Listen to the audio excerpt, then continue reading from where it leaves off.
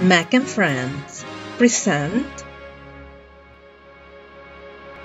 Feelings.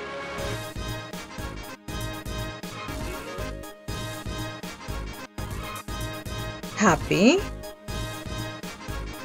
hungry, sleepy, sad, angry. In this lesson, you're going to identify feelings using a variety of adjectives. Say how a person feels at the moment.